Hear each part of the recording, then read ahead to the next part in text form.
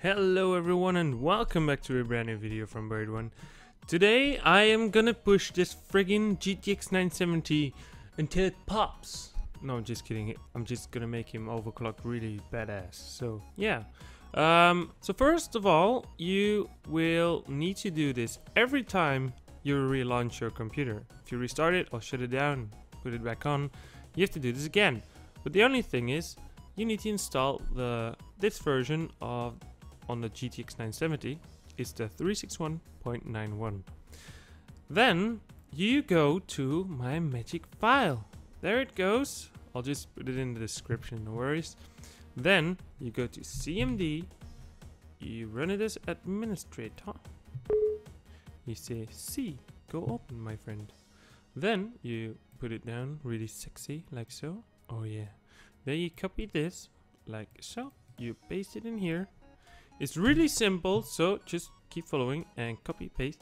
Now we're gonna put our um, GTX 970 in the performance state because it's P0. Then we look at the supported clocks. We're gonna set that like so. And now I already did it. You need to pick your highest clocks. So the first one is 3505. Mine is already like that. But because I already overclocked it, it's gonna say even more.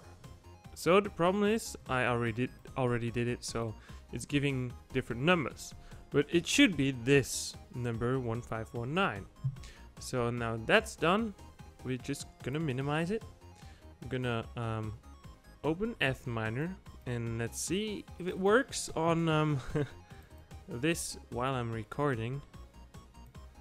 It might not work because I'm recording because oh, oh damn OBS is um, using quite a, a lot.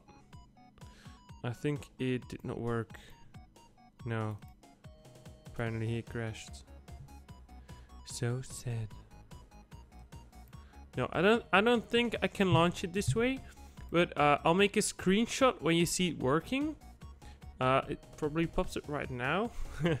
and um, you can see that I turned it from 17 megahashes uh, per second to 22 megahashes per second. And that's a massive improvement, man. That's so much.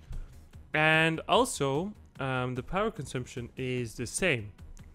So the card is more efficient this way than it should mine on 17. So I hope you guys enjoyed the video. And if there's any problem or your GPU does not do what mine does, you might have a different one. Because I have the G1 Gaming, you also have the MSI 970 and so on. But the G1 Gaming is uh, the best for Ethereum mining. If you ever do it, get that one. And if you want to play games like me. So I hope you guys enjoyed the video. See you guys next time.